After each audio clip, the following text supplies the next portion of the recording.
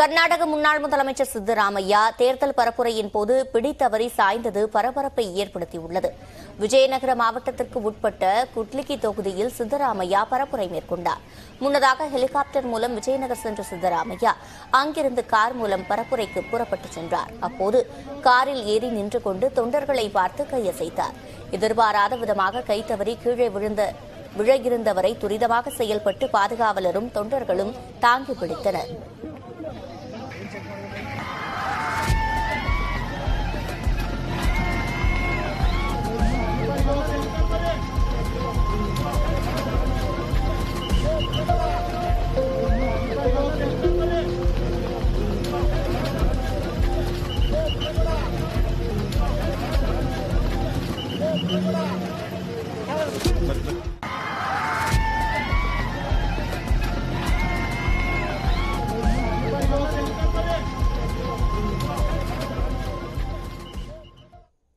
தொடர்வது விரைவு செய்திகள். இந்திய செலாவணி முறைகேடு தொடர்பாக பைஜூஸ் நிறுவனத்திற்கு சொந்தமான இடங்களில் அமலாக்கத்துறை அதிகாரிகள் சோதனை நடத்தினர். கடந்த இரண்டாயிரத்து பதினோராம் ஆண்டு முதல் தற்போது வரையிலான காலகட்டத்தில் பைஜூஸ் நிறுவனம் இருபத்தி எட்டாயிரம் கோடி ரூபாய் அந்நிய நேரடி முதலீடு பெற்றதில் விதிமீறல் நடைபெற்றதாகவும் இதே காலகட்டத்தில் வெளிநாட்டில் உள்ள நிறுவனங்களுக்கு ஒன்பதாயிரத்து எழுநூற்று ஐம்பத்து நான்கு கோடி ரூபாய் பரிவர்த்தனை செய்துள்ளதாகவும் புகார் எழுந்தது. மேலும் இரண்டாயிரத்து இருபது இரண்டாயிரத்து இருபத்தோராம் ஆண்டுக்கான நிதி விவரங்கள் கணக்குகளை பைஜூஸ் நிறுவனம் சமர்ப்பிக்கவில்லை என்றும் குற்றச்சாட்டு எழுந்தது. அதன் அடிப்படையில் பெங்களூரில் உள்ள பைஜூஸ் நிறுவனத்தின் தலைமை செயல் அதிகாரி ரவீந்திரனின் வீடு அலுவலகம் உட்பட மூன்று இடங்களில் அமலாக்கத்துறை அதிகாரிகள் சோதனை நடத்தினர். இதில் குற்றச்சாட்டு தொடர்பான ஆவணங்கள் டிஜிட்டல் தரவுகள் கைப்பற்றப்பட்டுள்ளதாகவும் பைஜூஸ் நிறுவனம் அடங்கிய விவரங்களை கொண்டு உண்மை தன்மையை ஆராய்ந்து வருவதாகவும் அமலாக்கத்துறை அதிகாரிகள் தெரிவித்துள்ளனர். தமிழ்நாட்டின் முன்னேற்றத்தை இரண்டாயிரத்து முப்பது இரண்டாயிரத்து முப்பத்தி ஒன்றாம் ஆண்டுக்குள் ஒரு டிரில்லியன் டாலர் பொருளாதாரமாக விரைவுபடுத்துவதற்கான அறிவுக் கட்டுரையை முதலமைச்சர் மு க ஸ்டாலின் வெளியிட்டார். சென்னை கிண்டியில் உள்ள தனியார் நட்சத்திர விடுதியில் இந்திய வர்த்தகம் மற்றும் தொழில் கூட்டமைப்பின் தேசிய செயற்குழு கூட்டத்தை முதலமைச்சர் ஸ்டாலின் தொடங்கி வைத்தார். அப்போது தமிழ்நாட்டில் முன்னேற்றத்தை விரைவுபடுத்துவது குறித்து ஃபிக்கியின் டெலாய்ட் அறிவுக் கட்டுரையை முதலமைச்சர் வெளியிட்டார். சென்னை பரங்கிமலையில் உள்ள ராணுவ பயிற்சி மையத்தில் ராணுவ வீரர்களின் பயிற்சி நிறைவு நாள் அணிவகுப்பு நிகழ்ச்சி நடைபெற்றது. பரங்கிமலை ராணுவ பயிற்சி மையத்தில் நூற்று இருபத்தி ஆறு ஆண்கள் மற்றும் அறுபது பெண் அதிகாரிகள் என மொத்தம் நூற்று எண்பத்தி ஆறு பேர் கடந்த பதினோரு மாதங்களாக பயிற்சி பெற்று வந்தனர். இதில் சூடான் திபெத் உள்ளிட்ட இந்தியாவின் நட்பு நாடுகளைச் சேர்ந்த ஐந்து ஆண் அதிகாரிகள் மற்றும் இருபத்தி நான்கு பெண் அதிகாரிகளும் பயிற்சி முடித்தனர். இந்த நிலையில் நிறைவு நாள் அணிவகுப்பு இன்று நடைபெற்றது.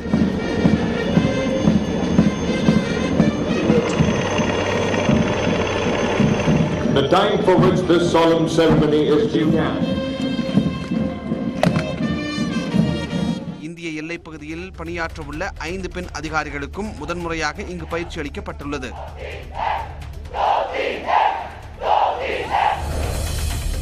கோவை நீதிமன்ற வளாகத்தில் ஆசிட் வீச்சுக்குள்ளான பெண் சிகிச்சை பலனின்றி உயிரிழந்தார். கடந்த மாதம் இருபத்தி மூன்றாம் தேதி செயின் பறிப்பு தொடர்பான வழக்கு விசாரணைக்காக கவிதா என்பவர் கோவை ஒருங்கிணைந்த நீதிமன்றத்திற்கு வந்தார். அப்போது அங்கு வந்த அவரது கணவர் சிவா நீதிமன்ற வளாகத்திலேயே கவிதா மீது ஆசிட் வீசினார். இதில் எண்பது சதவிகிதம் காயமடைந்த கவிதா கோவை அரசு மருத்துவமனையில் அனுமதிக்கப்பட்டார். இந்த நிலையில் கடந்த ஒரு மாதமாக சிகிச்சை பெற்று வந்த கவிதா சிகிச்சை பலனின்றி உயிரிழந்தார்.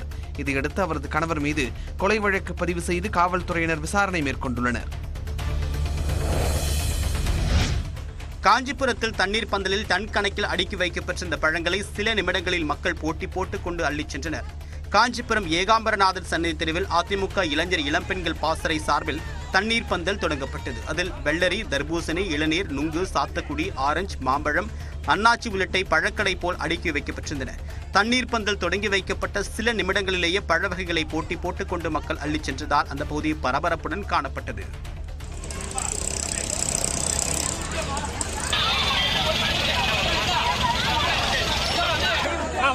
வாங்க வாங்க. வாங்க எடுப்பா எடுப்பா.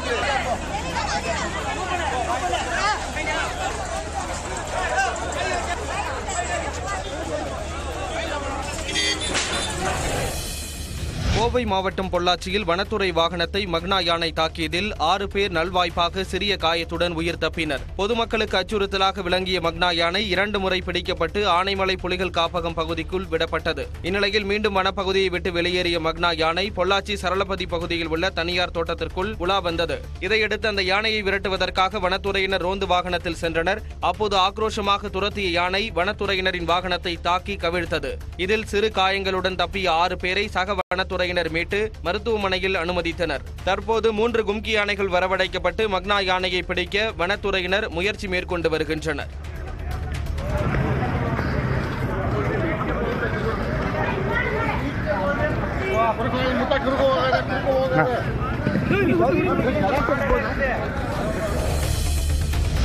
தெலங்கானா தலைநகர் ஹைதராபாத்தில் கனமழை கொட்டி தீர்த்த நிலையில் சாலைகளில் மழைநீர் தேங்கியதால் வாகன ஓட்டிகள் கடும் அவதியடைந்தனர்.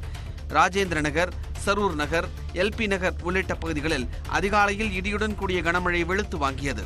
அதிகபட்சமாக ஹிமாயத் நகரில் ஒரு மணி நேரத்தில் எழுபத்தி ஏழு புள்ளி எட்டு மில்லிமீட்டர் மழையும் செரிலிங்கம்பள்ளியில் எழுபத்தி ஒரு மில்லிமீட்டர் மழையும் கொட்டி தீர்த்ததால் சாலைகளில் மழைநீர் பெருக்கெடுத்தது. இந்த நிலையில் கனமழை தொடரும் என்று வானிலை ஆய்வு மையம் எச்சரித்துள்ளது. ஆந்திராவில் பதினொன்று மற்றும் பனிரெண்டாம் வகுப்பு பொதுத் தேர்வு முடிவுகளில் தோல்வியடைந்த ஒன்பது மாணவர்கள் தற்கொலை செய்து கொண்டுள்ளது அதிர்ச்சியை ஏற்படுத்தி உள்ளது. ஆந்திராவில் பதினொன்று மற்றும் பனிரெண்டாம் வகுப்பு பொதுத் தேர்வை சுமார் பத்து லட்சம் மாணவர்கள் எழுதினர். தேர்வு முடிவுகள் கடந்த இருபத்தி ஆறாம் தேதி வெளியான நிலையில். பதினொன்றாம் வகுப்பில் அறுபத்தி ஒரு சதவிகித மாணவர்களும் பனிரெண்டாம் வகுப்பில் எழுபத்தி இரண்டு சதவிகித மாணவர்களும் தேர்ச்சியடைந்ததாக தெரிவிக்கப்பட்டுள்ளது. இந்நிலையில் தேர்வில் தோல்வியடைந்ததால் மன உளைச்சலுக்கு ஆளான ஒன்பது மாணவர்கள் தற்கொலை செய்து கொண்டுள்ளனர். இதனிடையே மாணவர்கள் விபரீத முடிவை எடுக்கக்கூடாது என்று கல்வித்துறையினரும் வலியுறுத்தியுள்ளனர். நடிகை குஷ்பு நமிதா வரிசையில் நடிகை சமந்தாவுக்காக அவரது ரசிகர் ஒருவர் ஆந்திராவில் கோயில் கட்டி அசத்தியுள்ளார். ஏப்ரல் இருபத்தி எட்டாம் தேதி நடிகை சமந்தாவின் பிறந்தநாள் கொண்டாடப்பட்டது. இதனை ஒட்டி சமந்தாவுக்காக அவரது ரசிகர் தெனாலி சதீஷ் என்பவர் பாபட்லா அருகே உள்ள ஆலப்பாடு கிராமத்தில் ஒரு கோயிலை கட்டி திறந்துள்ளார். அன்றைய தினம் கேக் வெட்டியும் பலருக்கும் உணவளித்தும் சந்தீப் கொண்டாடியுள்ளார். மேலும் போதிய வருமானம் கிடைத்தால் பெரிய அளவில் கோயிலை அமைப்பேன் என்றும் தெரிவித்துள்ளார். சமந்தாவின் சிலை குறித்த வீடியோ வெளியாகி பேசுபொருளான நிலையில் சமந்தாவின் சிலையை விமர்சித்தும் சிலர் பதிவிட்டு வருகின்றனர். சென்னை ஆவடி அருகே ஏடிஎம் கொள்ளை முயற்சியில் ஈடுபட்டவர்களில் ஒருவரை காவல்துறையினர் மடக்கி பிடித்தனர். திருவள்ளூர் மாவட்டம் பொத்தூர் பகுதியில் உள்ள கனரா வங்கியின் தரைத்தளத்தில் ஏடிஎம் மையம் செயல்பட்டு வருகிறது. அதிகாலையில் அவ்வழியாக காவல்துறையினர் ரோந்து பணியில் ஈடுபட்டிருந்த போது ஏடிஎம் மையத்திற்குள் சத்தம் கேட்டது. இதையடுத்து குற்றவாளிகளை பிடிக்க காவல்துறையினர் முயன்றபோது ஒருவர் மட்டும் சிக்கினார். எஞ்சிய இருவர் தப்பி ஓடினர். பிடிபட்டவர் வியாசர்பாடி பகுதியைச் சேர்ந்த எட்வின் என்பதும் பலமுறை இந்த ஏடிஎம் மையத்தை நோட்டமிட்டு கொள்ளை முயற்சியில் ஈடுபட்டதும் முதற்கட்ட விசாரணையில் தெரிய வந்தது. இதையடுத்து அவர்கள் பயன்படுத்திய ஆயுதங்களை காவல்துறையினர் பறிமுதல் செய்தனர்.